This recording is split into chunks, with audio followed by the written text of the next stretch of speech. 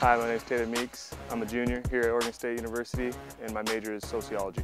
First started wrestling when I was uh, five years old. I decided to major in sociology because uh, I like the, I wanted to figure out how the human mind worked, and uh, you know I was very interested you know, how that worked. Um, the one thing I like about wrestling is, uh, you know, you don't have to be the most talented guy. It's usually the guy that wins is the guy that puts the most time in on the mat and uh, works the hardest. The world is kind of like, you know, I like to compare it to wrestling, you know. Um, you go out there into the world and it's like a competition, you know, and wrestling's taught me, you know, to be mentally tough through everything, you know, in battle. As of right now, the career I want to pursue um, is becoming a firefighter. Some of my hobbies I like to do um, in my spare time is uh, I like to go fishing. You know, I, I, go fishing with my dad quite a bit. My dad's pretty big into wrestling, so he goes pretty much where the team goes. He's kind of like the little manager, I, I'd like to say. He goes everywhere.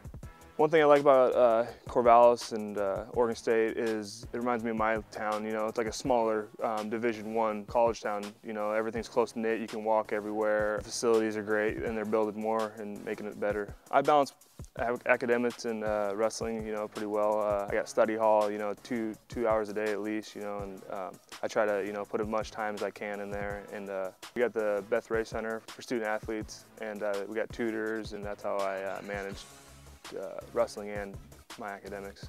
I would just like to thank uh, our Beaver Nation for uh, funding um, scholarships and uh, helping me get through school. I wouldn't have been able to do it without all you guys' help. Thanks.